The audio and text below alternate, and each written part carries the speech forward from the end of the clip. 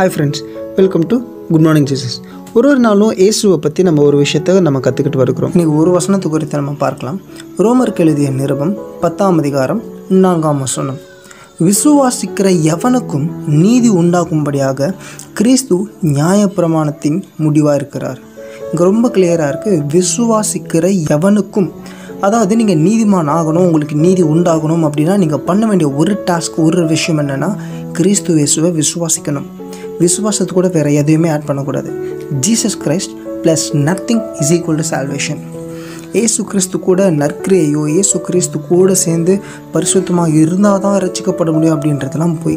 நம்ம ரச்சிக்கப்படுவதற்கு கிறிஸ்து இயேசுவை விசுவாசிக்கிறது மாத்திரம்தான். ரச்சிக்கப்பட்ட பின்பு நமக்கு நீ நற்கிரியைகள் அவசியம் பரிசுத்தமும் அவசியம். அதுக்கு கிறிஸ்து இயேசு நமக்கு உதவி செய்வார். ஆனால் ரட்சிப்புக்கே அவைகள் தேவைன்னு சொல்வது தவறு. அன்னது போக கிறிஸ்து நியாயப்பிரமாணத்தின் முடிவாக இருக்கிறார். நாம் இப்போ கிருபையின் காலத்தில் இருக்கிறோம். யாருமே செய்ய முடியாத அந்த நியாயப்பிரமாணங்களை ஏசு கிறிஸ்து நம்முடைய சார்பில் இருந்து செஞ்சு முடிச்சு நமக்கு வர வேண்டிய சாபங்கள் பாவ தண்டனைகள் எல்லாம் அவர் எடுத்துக்கொண்டு அவருக்கு வர வேண்டிய நீதி எல்லாத்தையும் நமக்கு கொடுத்துருக்கிறார். That is the glorious transformation happen in the cross இந்த வீடியோ உங்களுக்கு ஆசீர்வாதமாக இருக்கும்னு சொல்லி நம்புகிறேன் இதே போல் தினமும் ஏசுவை பற்றின ஒரு விஷயத்தை நீங்கள் கற்றுக்கணும்னு ஆசைப்பட்டீங்கன்னா குட் மார்னிங் ஜீசஸ் யூடியூப் சேனலை சப்ஸ்கிரைப் பண்ணுங்கள் இது உங்களுக்கு ஆசீர்வாதமாக இருந்துச்சு அப்படின்னா உங்கள் நண்பர்களோட பகிர்ந்து கொள்ளுங்கள் காட் பிளஸ் யூ